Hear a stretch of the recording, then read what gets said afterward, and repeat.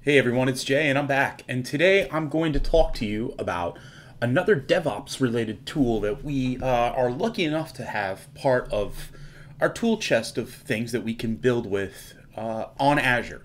So I want to show you how simple it is to start building with Ansible and uh, Azure. Now, you could, if you want to, install Ansible on your local workstation. Oh, I don't have it. Oh, because I didn't spell it right. Oh, and I don't have it. In. So how do I install Ansible on my computer? Well, the easiest way is to brew install Ansible. And what will happen is if you're using a Mac, a homebrew will go and grab Ansible for you, install it locally, and then give you the binary in your path so that you can start using it. Now, let's say you don't want to install it locally on your computer. Uh, there are options for you to build with Ansible quickly. So um, what is Ansible? It's as they call it, is automation for everyone. It is part of a tool that allows you to uh, automate, accelerate, collaborate, and integrate. All right. Um, what really it could do, and to make it really simple, is um, as you can see, we can install Ansible on our computer, but if we open up the Azure Cloud Shell by going to shell.azure.com, we'll also see that we can use Ansible here. Wow. Look at that. So it's already installed. I didn't have to do anything to install Ansible on the Cloud Shell. It's already there. Um, so what I can actually start doing if I want to uh, is if you go into this Ansible directory, I should say Azure directory, you can see I've got some Ansible playbooks already in there. So let's go into this uh, Azure Create right here. And what I have here is a create Azure VM uh, playbook that I've created. Now, really what I've done is I've based it off of a very, very simple playbook that we keep here on the docs. And all you really need to do is go in and uh, modify to put in some of this. And what it'll do is actually spin up an image for you that you can start SSHing into now. Uh, the things that I made some changes from, let's make this a little bigger for you. So things that I did here, and you, you can see is, and I, am not going to scroll down anymore on this side because uh, what I actually did was put in my key data. So I popped in my SSH key and um, I put it in here so when I actually create the user on the VM we're going to create. So let, let, us go through this uh, playbook real quick. So the playbook does a few things. Um, first, it, it the name establishes what we're going to do. We're going to create an Azure VM. The local host is where this work is going to actually be run from. And so in this case, we could be doing it from, say, Cloud Shell, or if we wanted to, we also have Ansible installed locally, uh, as you can see, and we can just type Ansible. And you can see now it's in my uh, my local, so I could use it either spot, and I can uh, add the correct um, AZ information, so AZ login. It'll have me log into the Azure uh, group so I can pick my account and all that, blah, blah, blah. Uh, you won't need to do that here in Azure Cloud Shell because obviously you're already logged in.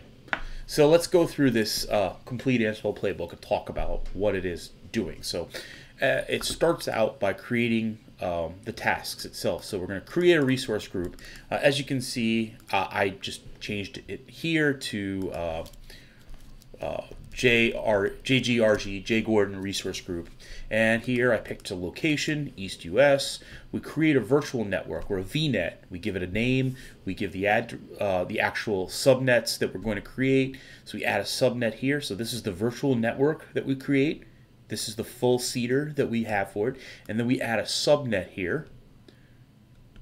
And we create the prefix for that specific subnet. And then we go ahead and create a public IP address. And we assign it to a network device and a security group.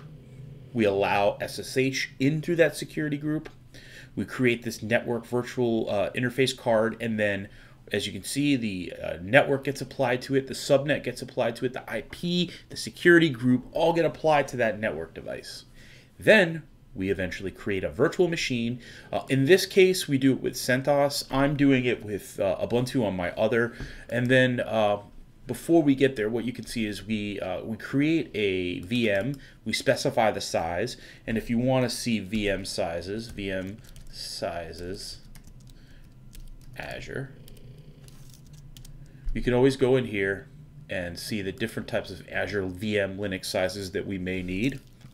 Um, so we have all the different types and we'll make sure that you get this information uh, in the notes for this video. So let's go back here and let's start saying, well, how do I get all this to turn into something? Well, pretty easy. Let's close up the file and the file is here in my home J Azure directory. And as you can see, it's in this directory where I have a file called create uh, Azure Create com uh, Complete.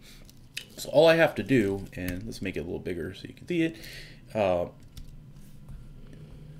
never mind. Let's type Ansible playbook. Hey, you know, sometimes you get video uh, alerts. Anyway, Ansible playbook, and then what we'll do is we'll do Azure Complete, create complete VM. And then what it's going to do is start building everything. Uh, don't worry about these. These are not, uh, these are just warnings. Uh, so what it's going to go through is it's going to get information from the playbook and it's going to create all the necessary parts that we're going to want. Uh, so let's let this run through and I'll be right back. I'm back. Sorry for the hard cut. Um, but as you can see, it went through all of the different parts of our playbook and it created all of our resources, and that includes telling us the public IP. Uh, but let's do one thing that's even easier first. Uh, let, let's see what it created. So we've got our portal open here. Let's go over to this area where it'll have our resource groups. Great. And so you can see here, JGRG, that is the resource group that I created.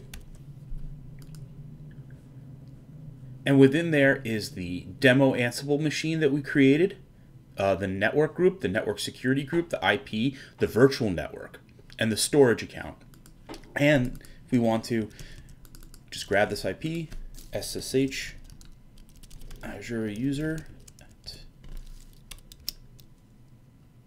There we go.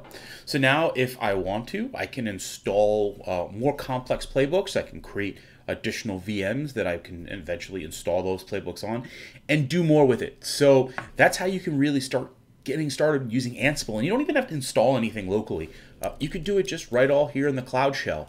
So if you have any questions, feel free to contact me. It's uh, at jaydestro on Twitter or uh, send me uh, any of your questions in the YouTube column, uh, YouTube questions box below, uh, comments box, whatever. feel free, and we'll talk again soon. So thanks again for watching, and thanks. Bye. Oh, yeah. And he's sleeping. He appreciates you keeping quiet while he sleeps. Thank you.